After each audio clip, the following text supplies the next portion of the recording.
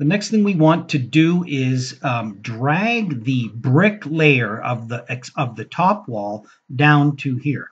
Or we could grab the brick layer from the bottom wall and pull it up either way. So in order to do that, we need to unlock that layer of the wall. Watch, we're going to pick on this wall and we're going to say edit type.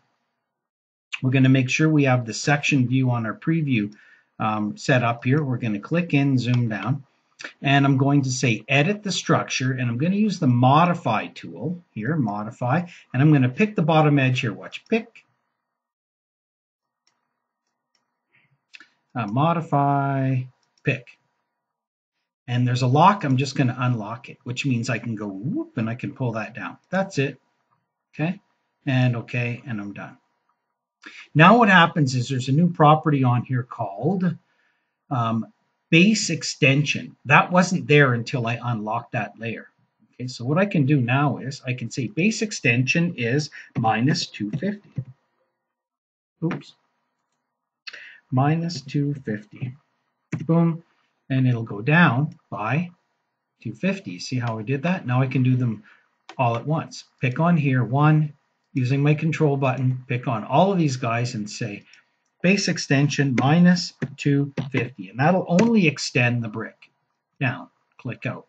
Okay, let's go to that cross section we created earlier. Open it up here, double click on the cross section, zoom in. We can see there's our new brick layer that came down into here and did that. That this I'm not sure what this is in here. It's a bit of a an anomaly, but um, oh, you know what we need to do? I think we need to make that airspace the same way. Yes, we do. So let's click on here, edit type, structure, click in, zoom in, hit the modify tab again, and pick on this guy, unlock this guy too.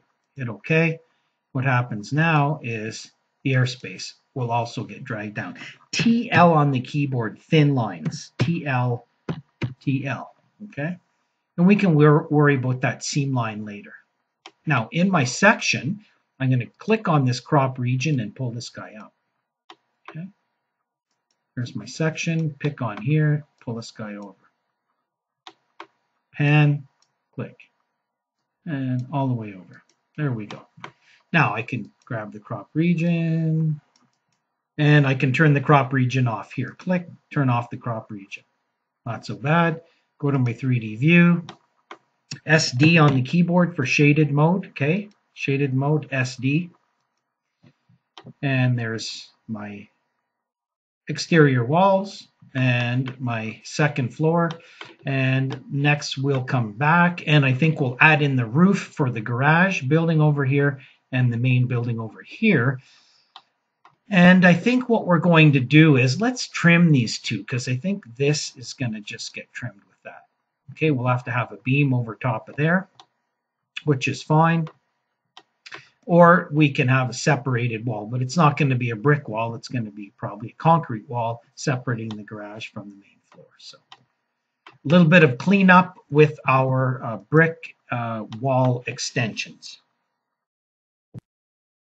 And we also want to make sure we do our save as project and lesson 10. There we go.